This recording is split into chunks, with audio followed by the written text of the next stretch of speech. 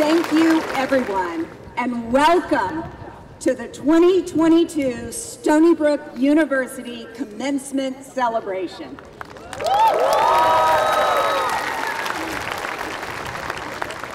I want to especially thank university faculty and staff and the parents and friends of our graduates. All of you have played a role in the academic success of this group of scholars. But above all, on this beautiful sunny day, congratulations to the class of 2022.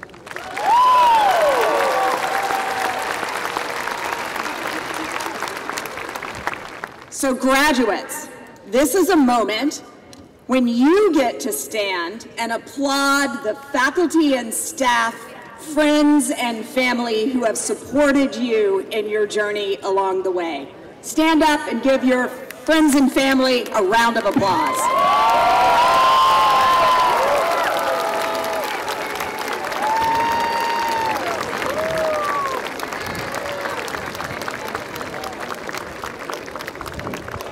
All right, friends and family, I want you to return the favor. Please stand up and give the class of 2022 a loud cheer.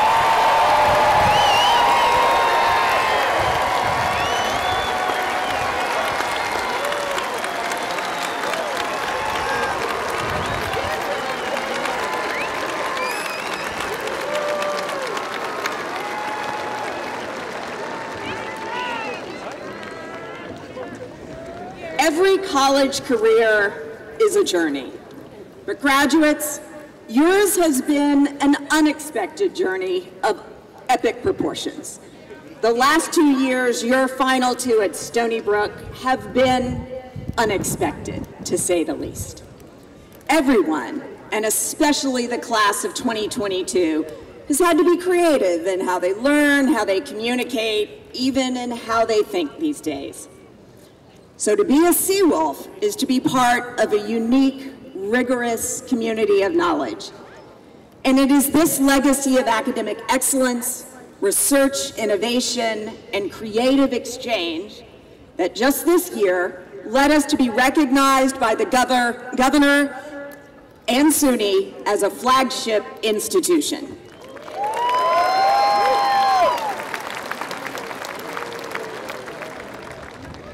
As the graduating class of 2022, your creativity was called upon in a time of unparalleled challenges, at a critical point in our collective history.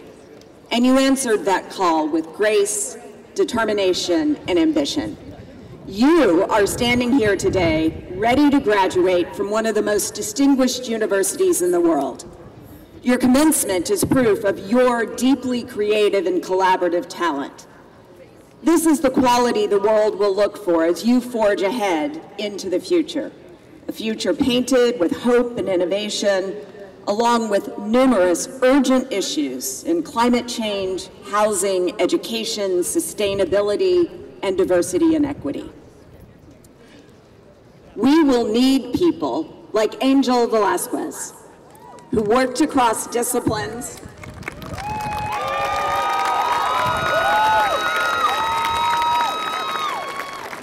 worked across disciplines and institutions to start the Stony Brook chapter of ColorStack, an organization that focuses on supporting and increasing the number of Black, Latino, and Native American students in the field of computer science.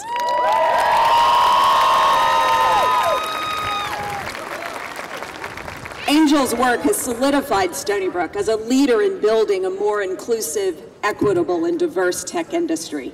He will begin his career at Google in August as a software engineer.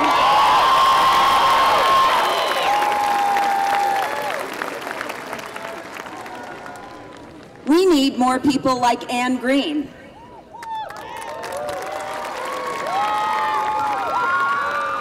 who epitomizes what it means to be a global citizen and collaborator with her studies and outreach across environmental design, policy, and planning in the School of Marine and Atmospheric Sciences. Her scholarly work also touches the fields of globalization studies and international relations along with anthropology. Anne has provided aid to communities abroad and cultivated an engaged, educated community at home by coordinating voter registration sessions for the university's Center for Civic Justice. As a 2022 recipient of the prestigious Donald M. Payne International Development Fellowship, Anne will go on to work as a Foreign Service Officer after graduation.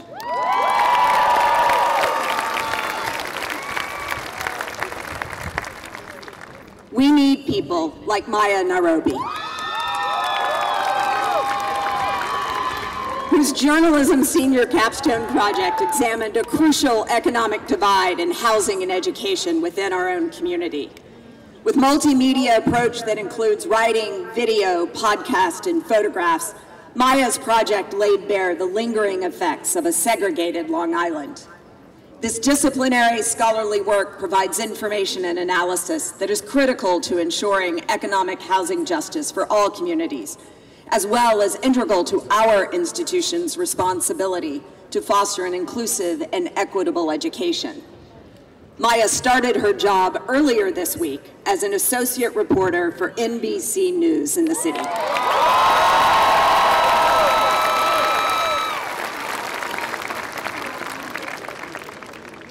We need people like Eric Lemon, in the Department of Music whose innovative musical composition empowers individuals to participate in the very creation of the music they consume.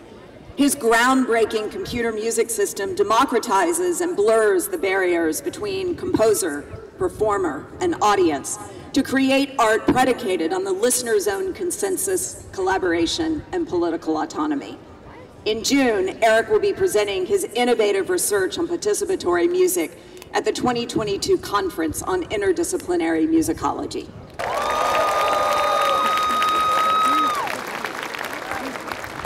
And we need people like Soraya Sheikh.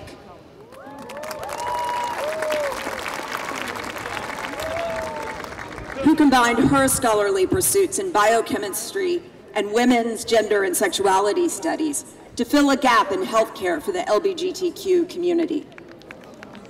Soraya collaborated with Stony Brook friends and alumni in various fields, including physics, to create Queer Diagnosis, the LGBTQ plus health podcast. Now, with more than a dozen episodes available, the podcast delivers an important conversation that had been missing from within the healthcare system. Next, Soraya is set to be a cardiovascular researcher at the Columbia University Vagelos College of Physicians and Surgeons.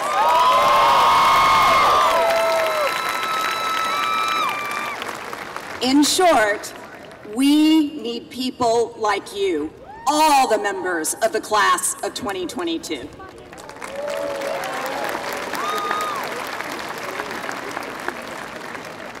Seniors, you represent the largest number of graduates ever in a single year to earn a bachelor's degree from Stony Brook in the history of this institution.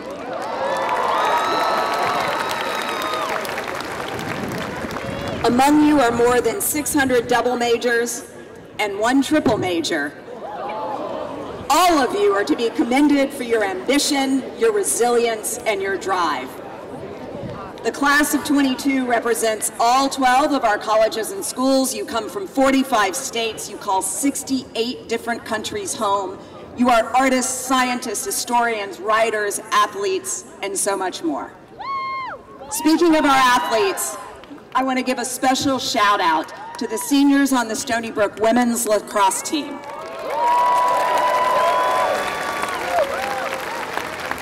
They are not able to be with us at commencement because the team was competing against the University of North Carolina in the NCAA tournament quarterfinals last night.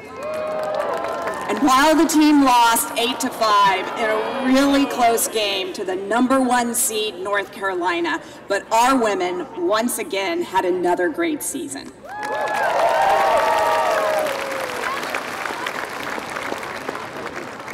I also want to recognize the seniors on the baseball team.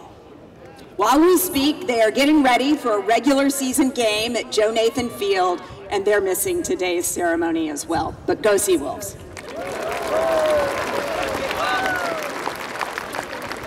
To all the graduates of the class of 2022. You inspire me, you inspire us all. And as you join Stony Brook's more than 200,000 alumni across the globe, I hope you'll stay connected to this unique and passionate community. I hope you'll continue to see Stony Brook as a second home, one that celebrates all you accomplish, strengthen, strengthens your critical perspectives, and supports your most ambitious endeavors.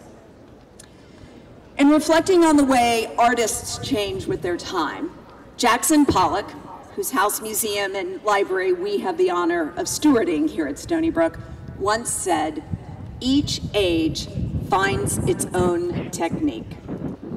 With the class of 2022, it is very clear to me that your technique is to maintain a truly creative and collaborative spirit. That will be your path forward.